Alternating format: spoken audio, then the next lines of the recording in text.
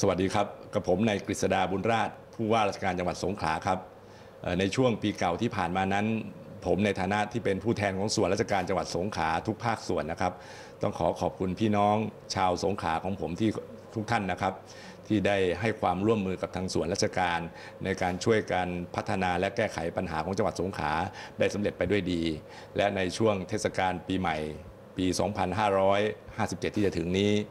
ผมขออาราธนาคุณพระศรีรัตนตรัยตลอดจนขออัญเชิญ สิ่งศักดิ์สิทธิ์ในศาสดาศาสนาที่ท่านเคารพนับถือนะครับ ตลอดจนอำนาจพระบารมีแห่งองค์พระบาทสมเด็จพระเจ้าอยู่หัว ได้โปรดดลบันดาลประทานพรให้พี่น้องชาวสงขลาทุกครัวเรือนทุกครอบครัว ได้มีความสุขกายสุขใจ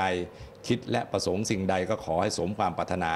ท่านที่มีอาชีพรับราชการก็ขอให้มีความก้าวหน้าในวิถีชีวิตราชการยิ่งขึ้นไป